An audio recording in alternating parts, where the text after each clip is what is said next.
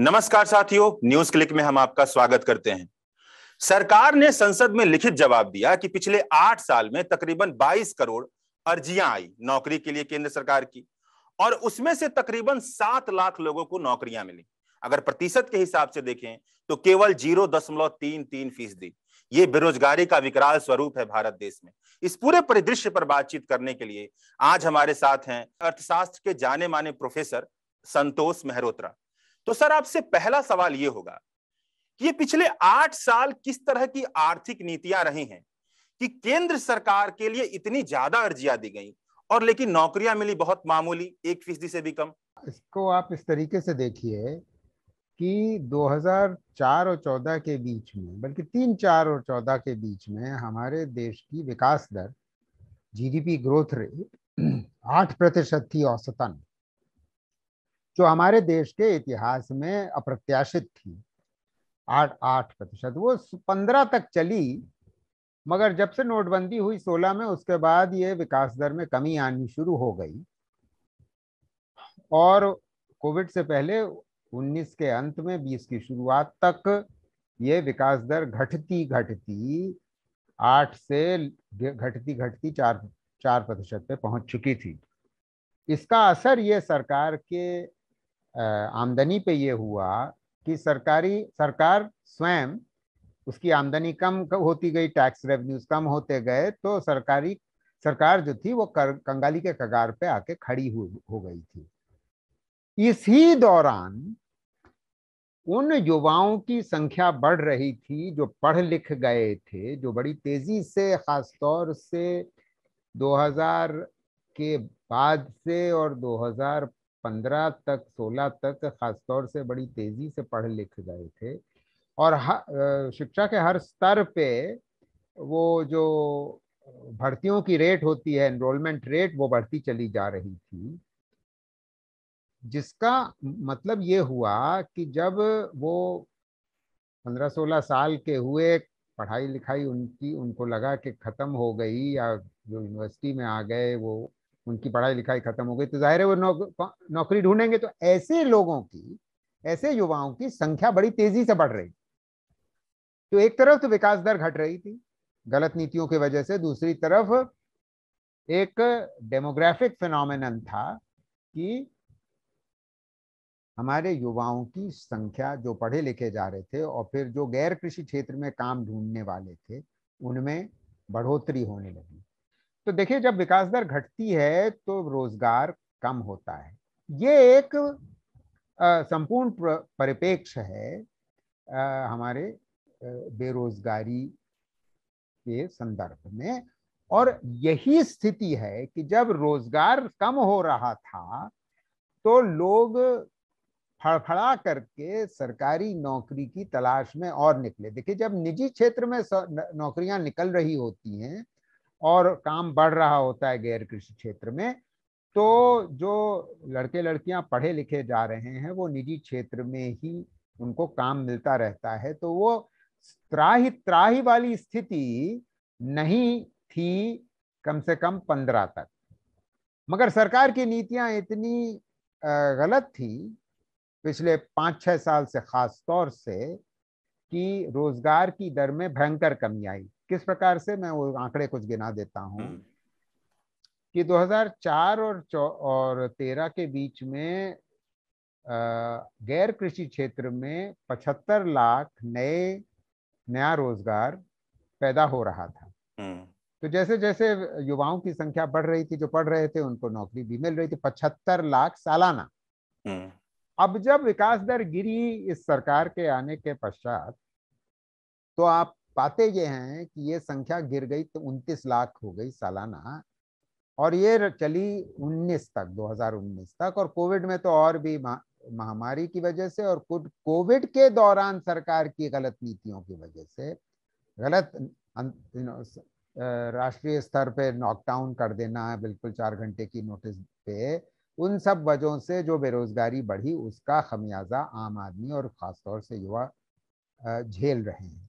तो उस इस वजह से और सरकारी नौकरी की तलब बढ़ी लाजमी है। तो 22 करोड़ लोग अगर एक सात लाख नौकरियाँ का आवेदन भरते हैं तो मुझे तो कोई ताज्जुब होता नहीं है। ये तो अब हम्म। रो, रोज़मर्रा की इस तरीके के भयभीत करने वाले का आंकड़े आने लग गए हैं। ये आपने बड़े अच्छे तरीके से आंकड़े बता दिए। अब थोड़ा मौजूदा स्थिति को देखें जो आप कह रहे हैं कि त्राही त्राही वाली स्थिति है।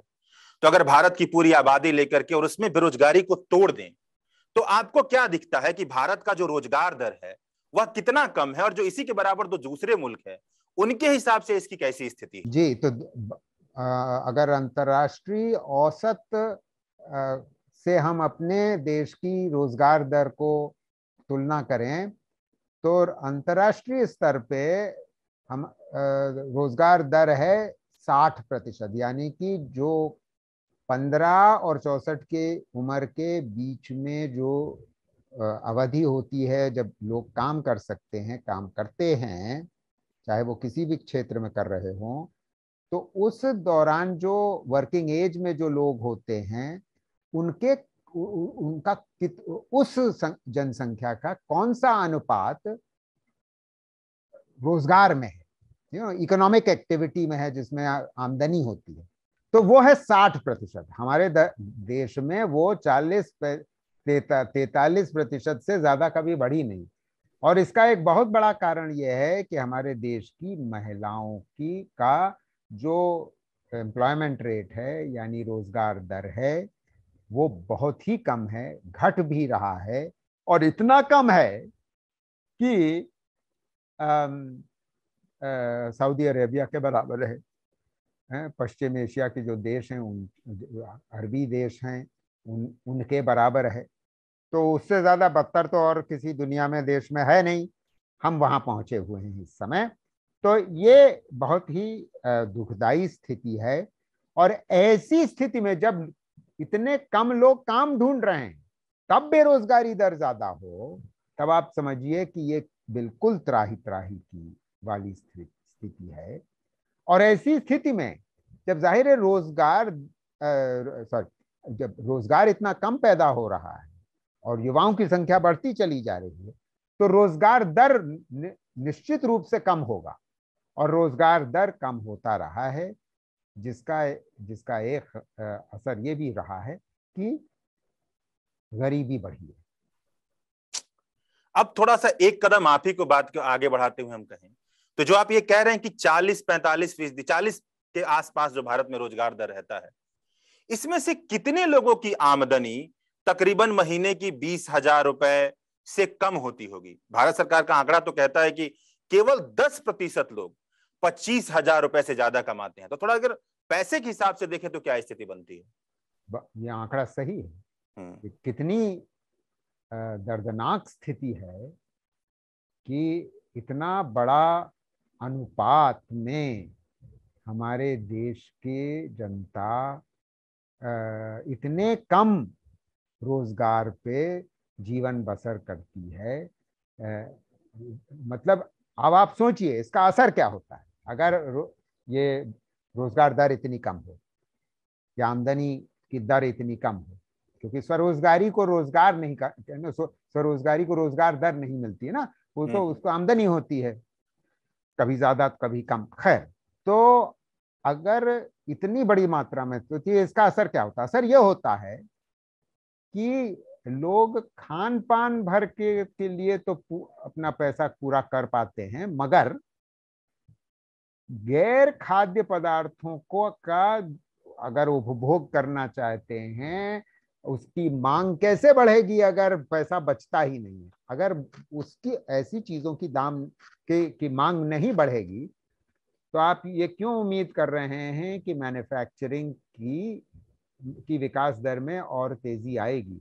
क्योंकि मैन्युफैक्चर्ड गुड्स का जो अनुपात हमारे देश में आ, होना चाहिए वो तभी बढ़ेगा वो जब आमदनी बढ़ेगी। और आमदनी तब बढ़ती है जो हमने पाया था 2003-4 और 14-15 के बीच में, जब रोज़गार गैर कृषि क्षेत्र में बढ़ रहा होता है। जी, मैं गैर कृषि क्षेत्र की खास तौर से बात इसलिए कर रहा हूँ बार बार कि उत्पादकता प्रति व्यक्ति उत्पादकता गैर कृषि क्षेत्र में ज़्यादा होती है और कृषि क्षेत्र में कम होती है। पहली मोटी बात ये। तो इसलिए जितनी ज़्यादा मात्रा में लोग उद्योग में और मैन्युफैक्चरिंग से जुड़ेंगे, उसमें उत्पादकता ज़्यादा होने की वजह से रोज़गार दर भी बढ़ेगी। हालाँकि अगर सेवा क्षेत्र की बात करें तो जो आधुनिक सेवा क्षेत्र हैं, उनमें रोज़गार दर काफ़ी अच्छी हो रही है और वहाँ पर उत्पादकता भी ज़्यादा है। तो मैं उन उन सेवा क्षेत्रों का के नाम गिना देता हूँ जहाँ ये स्थिति है। आ, आप ये पाएँगे कि banking insurance pension pension industry financial intermediation मतलब ये एनबीएफसी वगैरह एयरलाइंस मोटर कार का बेच को बेचना रिपेयर करना उसका डिस्ट्रीब्यूशन उन ये इस तरीके के काम। आ, उसके अतिरिक्त आईटी और आईटीएस सर्विसेज़ और इसके अलावा निजी क्षेत्र में खासतौर से स्वास्थ्य और शिक्षा सेवाओं में। आमदनी अच्छी है ये आधुनिक सेवाएँ कहलाती है और इनमें आमदनी अच्छी है और यही क्षेत्र हैं जो अगर 20 से पहले रोज़गार पैदा कर रहे थे तो यही क्षेत्र हैं। एक सवाल और बनता है कि आपने कहा कि 40 प्रतिशत के आसपास रोज़गार दर है। और निश्चित रूप से बहुत बड़ी आबादी है जो गरीबी कहते हैं कि गरिमापूर्ण जो जीवन है वो नहीं जी पाती होगी। रोज़गार का, इस रोज़गार दर का मतलब ये भी है। आपसे एक सवाल है कि आपने बहुत गरीबी पे भी काम किया तो तकरीबन कुछ आंकड़े बताइए कि कितने प्रतिशत लोग गरीबी रेखा से इस समय आपके हिसाब से नीचे होंगे? सरकारी आंकड़े तो 2012 के बाद सरकार ने साझा किए नहीं है। हालाँकि 2017-18 में एक कंजम्पशन एक्सपेंडिचर सर्वे हुआ था। और उसको सरकार ने जारी नहीं किया अपने कारणों से। उसमें खामियाँ निकाली। खैर। अब इसकी वजह से हमारे पास कोई सरकारी आंकड़े नहीं मगर क्योंकि ये संभव है कि और जरियों से हम आ, आम जनता का हर वर्ग की आ, के, के आम जनता का आ, खपत कंजम्पशन एक्सपेंडिचर कर सकते आंकल, आकलन कर सकते हैं। तो वो आकलन मैंने हमने कुछ आ, किया। उससे ये निकल के आया कि पिछले आठ साल में खासतौर से कोविड से पहले ही आ, क्योंकि रोज़गार दर कम हो रही थी इन वजहों से लोग गरीबी रेखा के नीचे जा रहे थे। कोविड के दौरान विकास दर और कम हुई, बेरोजगारी और बढ़ी। ऐसी स्थिति में एक वजह जो थी, जो लोगों की आमदनी कम हुई, वो ये कि वो शहर में काम छोड़ करके वापस पलायन करके अपने अपने गाँव चले गए। और ये एनएसएसओ के आंकड़ों से निकल के आता है, ये मैंने आकलन किया है उन उन उन आंकड़ों का कि लगभग तीन करोड़ लोग वापस पलायन करके अपने अपने गाँव गए। जिसकी वजह से thirty million, thirty two million यानी कि तीन, सवा तीन करोड़ लोग कृषि क्षेत्र में वापस काम करने लग गए। अब आप सोचिए, ज़रूरत क्या है? ज़रूरत यह है कि कृषि क्षेत्र कृषि क्षेत्र से हम रोज़गार कम करें जिसमें से लोग बाहर आए गैर कृषि क्षेत्र में उनको काम मिले। क्योंकि एक कारण जो कृषि में आमदनी कम होने का प्रति व्यक्ति आमदनी कम होने का ये है कि वहाँ बहुत बहुत ज़्यादा लोग हैं उत्पादकता कम है। और कृषि क्षेत्र का योगदान हमारे सकल घरेलू उत्पाद में केवल पंद्रह प्रतिशत है जबकि मतलब लगभग चौवालीस प्रतिशत हमारे देश के आ, कामगर आ, हमारा जो श्रम बल है चौवालीस प्रतिशत कृषि क्षेत्र में आ, आ चुका है। जो कम होकर के बयालीस पहुँच गया था दो साल पहले मगर कोविड के दौरान क्योंकि पुनः पला, पलायन हुआ वापस गए लोग उसमें संख्या इतनी बड़ी तेज़ी से बढ़ी है और 21 में फिर बढ़ी है। ये तो अब आप सोचिए उसका असर क्या होगा? उसका असर ये होगा कि कृषि क्षेत्र में रोज़गार दर कम होती चली गई तो इसलिए बहुत तो इसीलिए वहाँ त्राही त्राही मची है जो कृषि क्षेत्र में जो फार्मर सुसाइड्स हैं, वो बढ़े हुए हैं। इसीलिए मांग उठती रहती है पुनः पुनः कि ऋण माफ़ करो। तो ये सब समस्याएँ गैर कृषि क्षेत्र में रोज़गार कम पैदा होने की वजह से ही है। जी। थोड़ा सा सामाजिक अस्त्रीकरण को अगर हम बांट कर देखें तो जो भी क्या कहते हैं वंचित समूह है जैसे कि अनुसूचित जाति जनजाति या मुस्लिम वर्ग या महिलाएँ अगर आप वहाँ पे जाकर देखें तो क्या बेरोजगारी की क्या वहाँ पे स्थिति क्या है? आ, हमारे देश का जो अनुसूचित अनुसूचित जनजाति के लोग हैं ट्राइबल्स की बात कर रहा हूँ मैं एस की बात कर रहा हूँ। वो अधिकतर आ, खेती में ही है अधिकतर। वो अधिकतर ग्रामीण इलाकों में ही है। अब ग्रामीण इलाकों में जैसे मैं बार बार दोहरा रहा हूँ गैर कृषि क्षेत्र के रोज़गार कम उत्पन्न होते हैं और ये दुखद बात है इस वजह से उनकी उन, उनमें गरीबी का अनुपात ज़्यादा है हमेशा से रहा है। दूसरी बात अनुसूचित जाति के अधिकतर लोग जो गाँव में रहते हैं वो भूमिहीन है। अधिकतर वो भूमिहीन है क्योंकि वो भूमिहीन है। और अगर उनको ये मौका नहीं मिलता कि वो कृषि क्षेत्र छोड़ करके शहर आकर के काम करें तो वो इस बात से और त्रस्त होंगे कि पलायन करके बहुत से लोग और वापस आ गए हैं तो रोज़गार दर कम हो गई ओपन मार्केट में।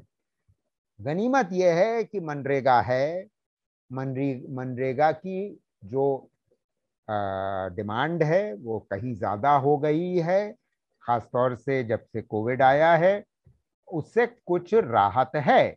मगर राहत एक चीज़ होती है कि मतलब आदमी इतना गरीबी में है और और ओपन मार्केट में काम है नहीं तो वो मजबूरी में मनरेगा में काम करता है, क्योंकि मनरेगा की जो मजदूरी दर है, वो ओपन मार्केट से तो कम है ही है। खैर तो वो मजबूर होकर के वहाँ काम करता है। जब काम करता है तो वो तो इसलिए करता है ना कि मरता क्या ना करता खाना है उसको अपने परिवार को खिलाना है तो अनुसूचित जाति ऐसी स्थिति में भूमिहीन होने की वजह से और कृषि पर निर्भर हो गए हैं जो उनके दूरगामी परिणाम इस प्रकार होंगे कि जो, जो अगर हम ये उम्मीद करें कि वो गरीबी रेखा से ऊपर उठ उठ उठ उठना चाहते हैं ज़ाहिर उठना चाहते हैं तो वो कैसे उठेंगे अगर रोज़गार गैर कृषि क्षेत्र में पैदा नहीं हो रहा है? अब मैं मुस्लिम्स पे आता हूँ। देखिए मुस्लिम्स का के बारे में जो एन एस एस ओ आंकड़े बताता है तो ये साफ़ दिख रहा है कि हिंदुओं के मुकाबले वो आ, कुछ कम पढ़े लिखे रहे। तो ये आ, समझना ज़रूरी है क्योंकि अगर वो शिक्षा से थोड़े वंचित रहे हैं तो ज़ाहिर है उनकी संगठित क्षेत्र में उनको काम कम मिलेगा। तो ये ये ये और संगठित क्षेत्र में ज़ाहिर आय ज़्यादा है। एक बात मुसलमान समुदाय के फेवर में ये जाती है उनके लिए अनुकूल ये बात है कि उनके अनु, उनका अनुपात उनकी जनसंख्या का अनुपात शहरी इलाकों में ज़्यादा है बनस्पत ग्रामीण इलाकों। ये बात आप दलित और और आदिवासियों के लिए नहीं कह सकते, मगर मुसलमान समुदाय के लिए ये बात कह सकते हैं। तो उसका कुछ फ़ायदा मुसलमान समुदायों को मिलता है। तो ये तीन वर्गों के बारे में मैं इतना ही अभी आपको बता सकता तो इसमें तो बहुत लंबी बात की जा सकती है बेरोजगारी की दुनिया पर। तो मैं आपसे अंतिम सवाल ये पूछूँगा कि आपको क्या लगता है कि सरकार को ऐसे कौन से कदम उठाने चाहिए जिसमें नरेंद्र मोदी कहते हैं कि दो करोड़ रोज़गार सालाना पैदा हो जाए, या कितने रोजगारों की ज़रूरत है? अगर आप संक्षिप्त में बता पाए तो। देखिए इस समय तीन ऐसे बड़े समूह हैं हमारे देश में जिनको रोज़गार की आवश्यकता है। एक तो जैसे अभी मैं कह रहा था, पहला समूह वो है जो कृषि क्षेत्र में है और कृषि क्षेत्र छोड़ना चाहता है। चाहे वो वयस्क हो, चाहे वो युवा हो। दूसरा समुदाय वो है जो आज की तारीख में पूर्ण रूप से बेरोजगार है ओपनली अनएम्प्लॉयड है। उसकी संख्या देखिए 2012 में करीब एक करोड़ थी टेन मिलियन, और वो बढ़ करके 2019 में ही तीन करोड़ हो गई थी, तिगुनी हो गई थी।